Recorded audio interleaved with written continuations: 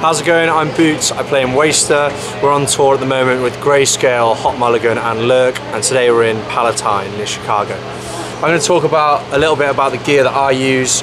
Um, few venue constraints today, people doing sound checks and tight with a bit tight and stuff, so I'm going to stand outside here in the snow.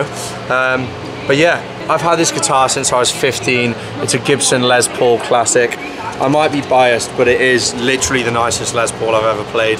Um, scratch plate fell off recently because I had a little bit of crack there, but I actually kind of like it. it. Usually has a white scratch plate, taking it off. It was made in 2000 and 2008, I think. Um, it's they don't. I'm pretty sure they don't actually make these classics anymore like this. Um, but yeah, it's literally my favourite guitar. I also play Fender. I've got a Fender Jazzmaster at home. But uh, the reason I like this guitar so much is because a lot of Les Pauls have quite thick necks. Where because I play Fender as well, I do like thin necks. And this guitar has a slim taper neck. The radius of the neck is quite quite flat and it's, it's, it plays very nice. Um, I take like quite take quite a lot of pride in setting up guitars. Like I've worked as a guitar tech and stuff in the past, so I'm quite picky with how, how I set up my guitars. Um, you can probably see from there I play like super low, action's quite low, just so it's fast. I could do, a lot of Les Pauls have like a quite high, traditionally chunky, um, sort of a high chunky action, but I do like it quite low. Um, haven't really done much to this guitar to be honest. Stock pickups, um, yeah, I know I've got quite a few friends who modify theirs, but I really haven't. I like to keep it sort of as it was. Um, on my other guitars, I modified, like my Jazzmaster, I modified a little bit. If you're familiar with those guitars, you'll know that it's got two halves of the guitar, lots of different controls. Um, and I've got a habit of, even with this guitar, flicking my pickup selector up while I'm playing. So what I've done with my Jazz, um, haven't got it with me, but I've just like gutted that guitar, so it's literally volume control to output, no tone, nothing. Taken the, the neck pickup out and just got the bridge pickup. But like I said, with this one, really haven't haven't modified it at all. What I like to do live, pretty straightforward, volume all the way up, tone all the way up, bridge pickup. I rarely use my neck pickup to be honest. Um, with because I'm using Kemper these days, the, the, difference in tone I can get between my rhythm and lead doesn't really require me to get that neck pickup sound. I know a lot of people do pick go, go to the neck for leads, but I just keep it straight. The type of music we're doing is, you know, it, it doesn't really require me to I guess it's, it's down to taste as well, but yeah, I just like to keep it straightforward. Volume, pick up, uh, volume and tone straight up. Um, I just use regular Slinkies, Ernie Ball, shout out to them, they've looked after us for ages now. Yeah, regular Slinkies. I did actually use the Paradigm ones for a bit because they sorted us out. They were sick as well. They've got like this whole scheme where they'll say, say that you'll never break a string and if you do, they'll give you like a whole new pack back. But yeah, pretty simple. Um, I play in standard. Um, a lot of our songs, especially from Red, Green or In Between or SKRWD, are actually played in like C sharp or D sharp, um, like drop C, but I actually keep this in standard and my Kemper allows me to to use the drop pedal function on there. So it's the guitar stays in standard and the, the Kemper does all the dropping for me. So like I just said, I've been using Kemper now for about two years. I used to play when I first started, I was always a big Marshall guy. I used to go through a um, JVM 410 um, through two 412 cabs. Um, since moving over to Kemper, I don't use cabs anymore. We're on in-ears and stuff now. Um, I moved over to Orange before I went to, to Kemper, and I've always liked that sort of, again, British sound, Marshall and Orange. But uh, since using Kemper, I've actually been, my main rhythm tone, I've been modeling a Budda amp, um, which I'd never played through before and had never actually heard of. Um, funnily enough, one of my friends got that tone from Alex in All Time Low. So it's basically his tone. That's the best thing about Kemper. You can literally grab a tone on a memory stick, plug it in and use it. It's not that exact one, but it's it's like, it's basically the same. He looked at the settings. So yeah, main rhythm tone's a Budda. And then for my lead tone, um, it's actually the lead tone that was used on um, Identity Crisis. I'm pretty sure it's a, it's a JCM 800 model. Um, and it's from Howard Benson, his pack. Um, like a lot of his packs, I, like, I use a lot of his tones. Um, really only use about two or three tones. I've got my main rhythm one that I've spoken about and my lead. Um, there's a kind of little a crunch that I use as well, which is just my main distortion tone, but dialed down, like eased off on the on the gain. Um, and sometimes for certain songs, I'll use like a proper low cut to get quite a thin sound.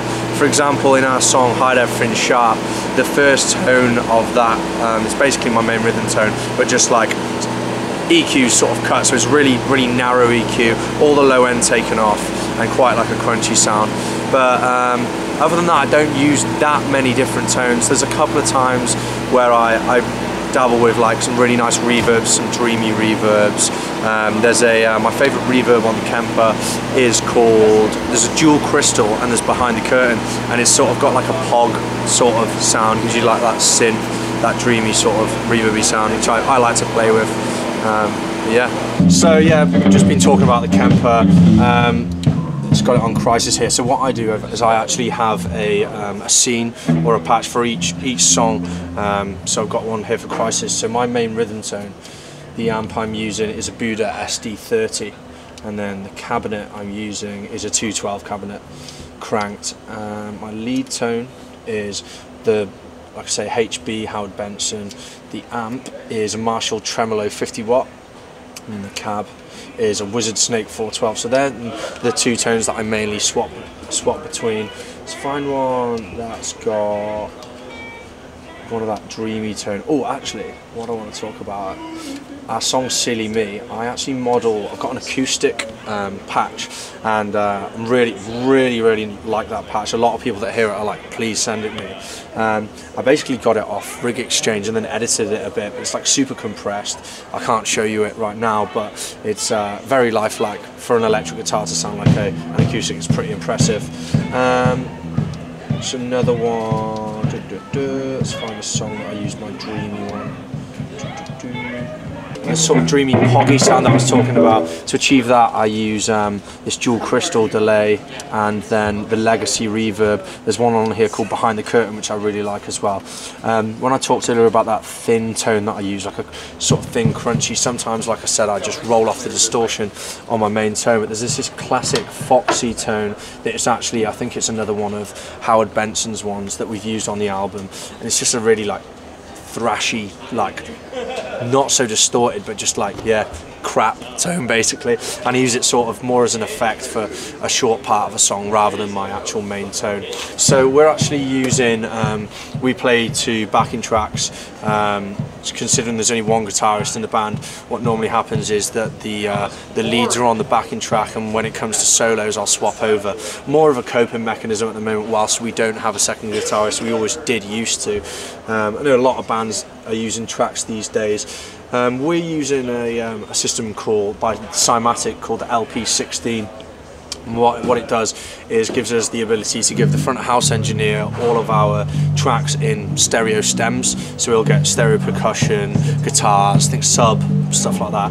What I really like about this if you look here I've got a MIDI cable coming out of the track system that actually goes into my Kemper um, I still use the actual Kemper profiler remote just as a backup and to hit my tuner on and stuff.